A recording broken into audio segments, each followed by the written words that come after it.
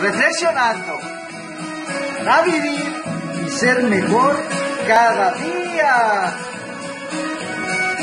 La pasión para el hombre es un torrente, pero para la mujer es un abismo. ¿Qué dualidad, qué diferencia tan radical entre un torrente y un abismo?